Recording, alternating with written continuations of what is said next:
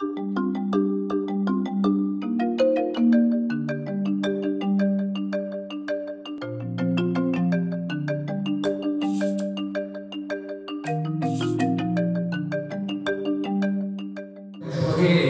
de commencer, saluer la, présence de, mes collègues, euh, les premières vice-présidentes au conseil départemental de Meurthe-et-Moselle. Commençons euh, chez notre hôte. Euh, Madame la vice-présidente également de la Haute-Marne, Monsieur Werner, vice-président chez François de la, région, Grand Est, et puis Monsieur Fournier-Fayard, donc représentant de la Banque des Territoires. Je voudrais également saluer la présence de mes collègues du conseil départemental, Jérôme deux, Daniel Combe et euh, vice-président Vautrin. Euh, merci aussi aux services du conseil départemental qui euh, sont un petit peu à la manette pour ce beau projet Imeuse Santé, ainsi que bah, tous les, les, acteurs de, cette belle idée qui devient aujourd'hui un projet avec des idées concrètes. Donc j'ai aujourd'hui le privilège de vous accueillir à cette conférence en tant que président du département de la Meuse qui est porteur euh, du projet Meuse Santé. Alors Meuse Santé a été initié par mon collègue, mon prédécesseur et ami Claude Léonard, que vous connaissez euh, et tous, puisqu'il était également médecin de profession. Je suis très fier de reprendre ce flambeau à côté d'une formidable équipe euh, pour porter ce grand projet à ambition nationale et lui donner toute la place qu'elle mérite.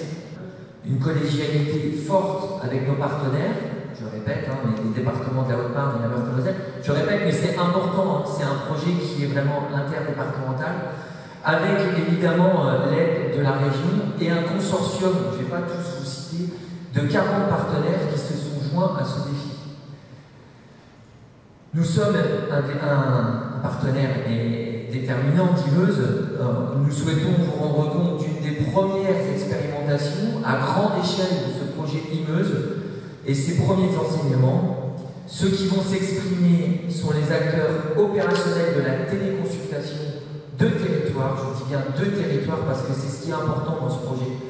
Nous souhaitons qu'à travers la méthode qui va être euh, décrite, le pragmatisme des solutions retenues pour chaque problème concret rencontré sur le terrain, chacun d'entre nous puisse se doter d'un véritable vadémécum pour la mise en place d'un service de téléconsultation sur son territoire, son territoire qui peut être urbain ou qui peut être rural.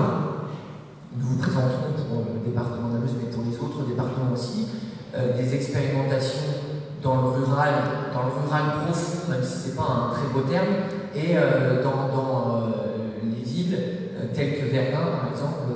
alors, je ne sais pas si le docteur Kern est présent avec ces masques, c'est compliqué Mais en, tout cas, merci pour votre présence, tous les, autres acteurs, hein, les, médecins.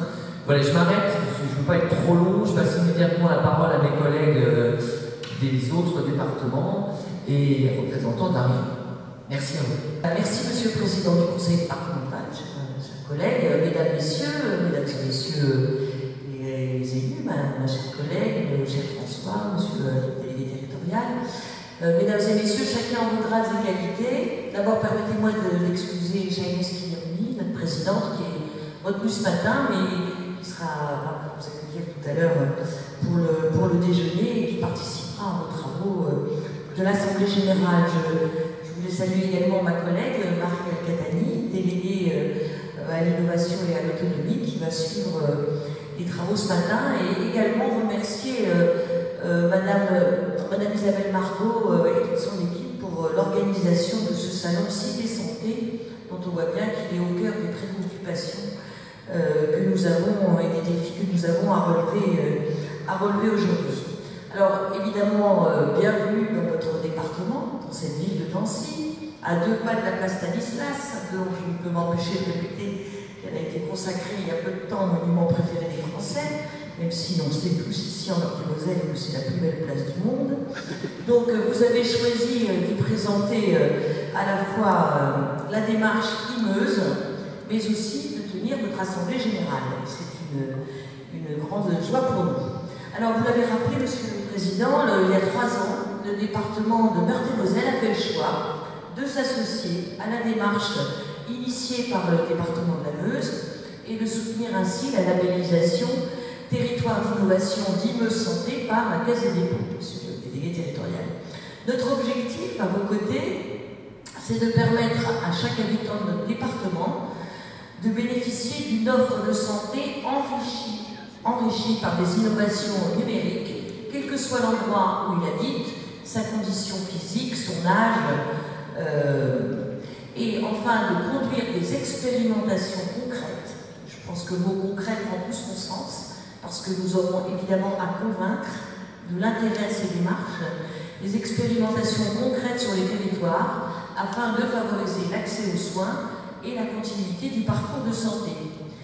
Cette démarche qui nous réunit, elle reste encore inédite et elle mérite d'être développée, mais elle démontre en tout cas que des synergies entre collectivités départementales, régionales sont non seulement possibles, mais indispensables euh, pour relever les défis qui dépassent nos seuls cadres départementaux.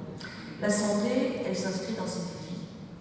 La pandémie que nous venons de traverser et que nous, que nous subissons encore illustre, s'il en était besoin, que c'est la bonne articulation des leviers nationaux, régionaux et locaux. C'est à cette articulation qu'il nous faut travailler. Et euh, les débuts de la crise sanitaire ont également montré combien les organisations départementales constituaient en réalité un filet de sécurité face à une logistique nationale qu'on a parfois euh, regretté de voir peiner euh, à prendre toute la mesure de la situation à ses débuts. Donc, ce que je voudrais dire, c'est que nous connaissons tous les difficultés à la fois du recrutement des personnels médico-sociaux, des médecins. Nous connaissons aussi les difficultés qui sont les leurs dans l'exercice de leurs fonctions, notamment parce qu'il y a pénurie de recrutement. Euh, et c'est pour ça que l'e-santé enfin, peut apporter une réponse. On est tous convaincus, évidemment, que ces dispositifs ne pourront, ces nouvelles technologies ne pourront jamais, jamais remplacer la présence humaine euh, et euh, que ça n'a pas vocation à le faire. Nous avons à les concevoir comme des moyens de soulager et de soutenir les soignants pour que le leur présence au chevet du patient, par exemple, soit plus humaine, plus, euh, plus, plus intense. Alors, si nous nous sommes engagés très tôt à vos côtés, chers collègues, dans cette démarche, c'est qu'elle croise à la fois cette ambition d'apporter une réponse humaine aux difficultés à la fois des malades mais des personnes âgées ou en situation de handicap, mais c'est qu'elle euh, croise aussi notre ambition euh, territoriale. Euh, et en 2022, dans le cadre du partenariat qui nous lie, nous nous engagerons dans des projets d'expérimentation en télémédecine avec pour objectif de les déployer dans les six territoires de Meurthe-et-Moselle. Et nous avons évidemment commencé à travailler à cette organisation. Je voulais juste rappeler que parallèlement, la Meurthe-et-Moselle est partenaire de projets tels que la téléconsultation Alzheimer en partenariat avec le centre hospitalier de Jeuf et le CHRE de Nancy, et que nous sommes également partenaires de la mise en place de Visio avec le CHRE, qui repose euh, sur la télérégulation entre les EHPAD et le centre 15, qui permet en fait d'optimiser la prise en charge des patients en EHPAD à plan SAMU et de réduire euh, la plupart du temps près de 50% des cas d'hospitalisation. Alors je, je m'arrêter là. A d'autres expériences, je l'espère, pour nourrir ces, débats ce matin. Et donc, euh, je nous souhaite collectivement de, très bons débats, de très bons échanges d'expériences.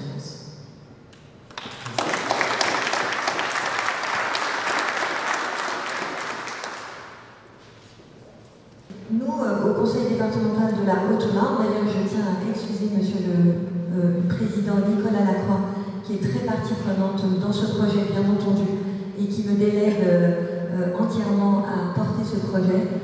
Euh, nous sommes très fiers d'avoir été euh, un des départements aux côtés de la Meurthe-et-Moselle pour soutenir ce projet que la Meuse a initié avec la Banque des Territoires qui était vraiment aussi fer de lance. Ravi d'apprendre ensuite que ce projet avait été retenu dans l'appel à projet territoire d'innovation. Aujourd'hui, après deux ans et demi de réflexion, de travail intense avec tous les collaborateurs, que je tiens à saluer d'ailleurs parce qu'au conseil départemental, euh, nous avons deux personnes qui travaillent à plein temps et Dieu sait que c'est complexe, C'est la même chose dans les autres départements. La mise en place du consortium a demandé une énergie incroyable. Et ensuite, de pouvoir transmettre l'intérêt bien fondé de participer à, de tels travaux qui paraissaient très abscons en fait pour nos collègues élus, euh, permettre que cette assemblée départementale de Haute-Marne, j'imagine en Meuse et en Meurthe-et-Moselle, de la même manière que nous nous engageons sur des investissements, euh, puisqu'il y a eu des, autorisations de programme et des autorisations d'engagement, puis du fonctionnement, eh bien, ça n'était pas une mince affaire.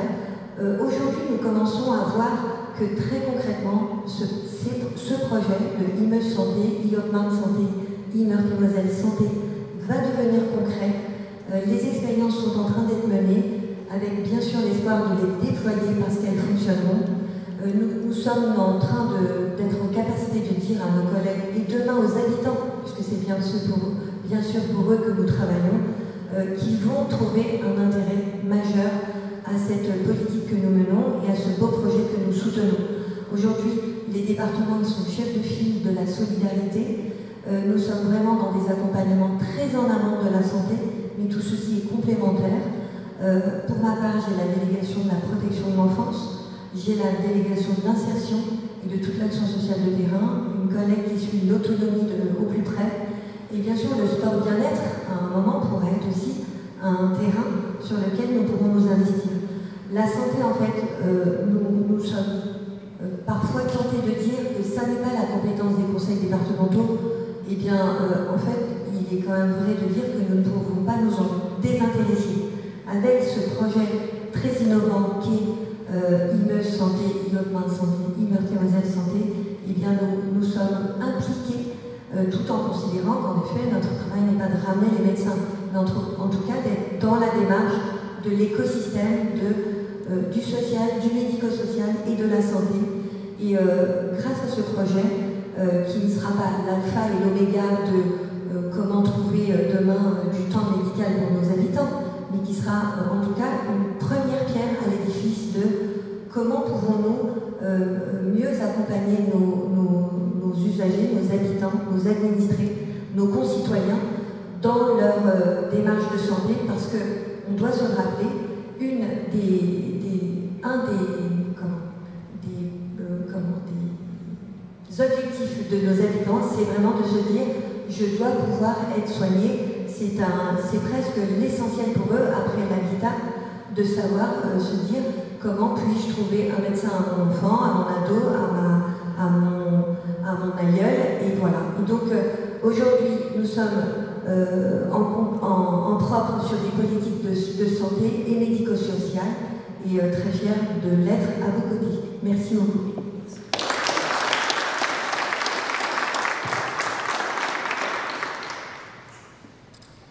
Bonjour à tous, mes, chers collègues, Monsieur le Président du, Conseil départemental, cher Jérôme, Mesdames, euh, les vice-présidents des deux conseils départementaux de Meurthe-et-Moselle et de, Haute-Marne, Madame la conseillère départementale, Monsieur le directeur territorial et chers amis, euh, en, écho euh, avec ce que, viennent de dire euh, les, élus départementaux, je crois que ce, projet, c'est vraiment un, exemple du, bon travail des territoires.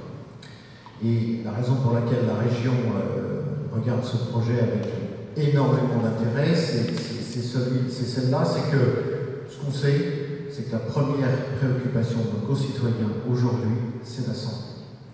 Ce qu'on sait, c'est que l'enjeu sur notre territoire régional, c'est que, je le disais tout à l'heure en, ouverture du, salon, nous avons une espérance de vie qui est inférieure à la moyenne nationale.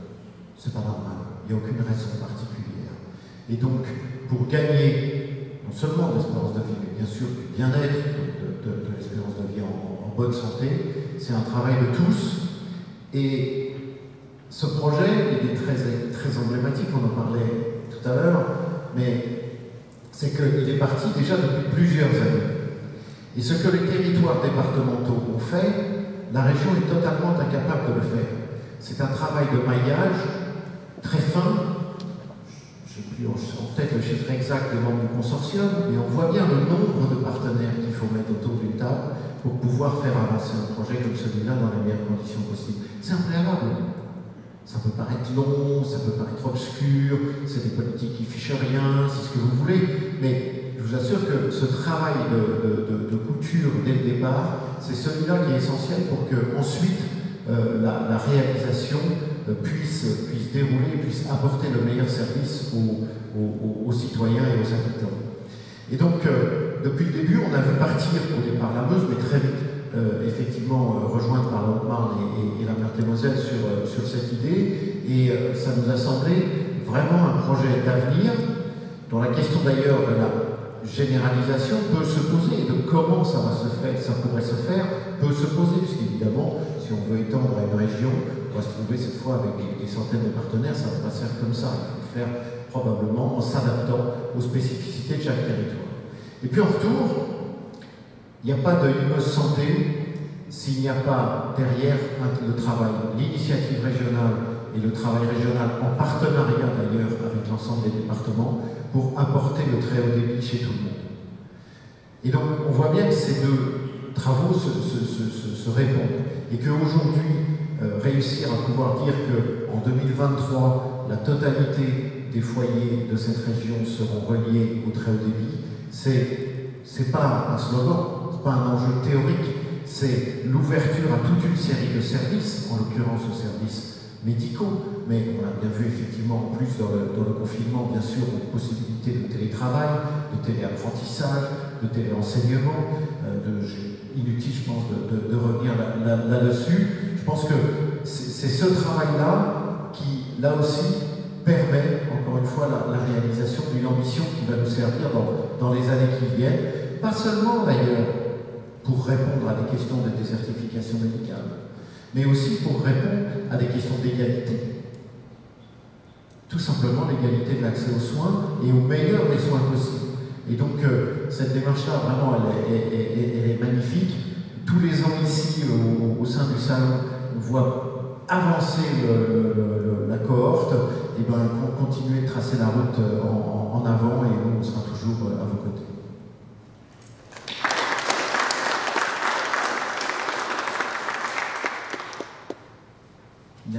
Bonjour à, toutes et tous. Euh, merci Monsieur le, Président et, ainsi que les, vice-présidentes des, conseils départementaux dont nous sommes partenaires. Alors je voudrais juste refaire un, tout petit euh, retour en, arrière. Il y, a, deux, trois ans de cela, lorsque le projet a, candidaté à l'appel à projet euh, territoire d'innovation. Donc nous sommes dans des territoires un modeste opérateur, modeste dans le sens où c'est un, projet qui a été lancé par l'État euh, donc euh, secrétaire général euh, pour l'innovation, le SGPI, et qui recherchait des projets ambitieux et innovants. Et je crois que vous avez tapé, complètement dans, le sujet, d'autant plus avec l'évolution de, ces derniers mois autour de, la santé. Et effectivement, on voit bien l'enjeu de l'innovation dans le domaine de la santé, qui est un service public aujourd'hui que les gens utilisent euh, sans forcément s'en rendre compte, mais qui a besoin de, se refondre. Et je pense que euh, tout le travail de fond que vous, menez aujourd'hui au niveau d'Immeuble Santé, mais aussi des, partenaires sur les, départements et la région, est extrêmement intéressant et productif. Et je pense que vous aurez tout à l'heure euh, quelques illustrations de, la répétabilité de certains sujets et, sans doute aussi de, l'avenir sur certains en tout cas notamment par la télémédecine. Alors, la Banque des territoires, maintenant que, j'ai fait le retour en arrière. La Banque des Territoires, donc opérateur de, ce programme pour le compte de l'État, euh, a euh, bien entendu un rôle de, suivi et, de financement des, actions qui avaient été euh, jusque-là identifiées au départ. Mais c'est un programme de long terme, c'est un programme, ne, l'oublions pas, qui, se projette à un horizon de, 10 ans. Et notre ambition, et nous croyons en tout cas au niveau de la Banque des Territoires, C'est qu'il y a des choses qui vont bouger, il y a des choses qui bougent d'ores et déjà, et nous serons là, nous sommes là, en tout cas pour accompagner les territoires, les, collectivités bien entendu, un certain nombre d'entreprises pour financer, euh, structurer aussi, hein, puisque notre rôle n'est pas que euh, l'approche financière, c'est aussi d'aider à monter des projets, d'aider à monter des projets sur des collectivités, sur des territoires, puisque c'est sur nos territoires, euh, en local, que, l'ambition se, développe, s'imagine, se développe et voit le jour ensuite. Donc oui, bien entendu, on sera à vos côtés pour les projets euh, qui euh, émergeront, euh, qui sont déjà en, train d'émerger et qui émergeront dans tous les domaines, puisque la santé a été une priorité de la bande des territoires depuis de nombreuses années. Elle va se retrouver renforcée avec le plan de relance. Je, pense que c'est important de le rappeler.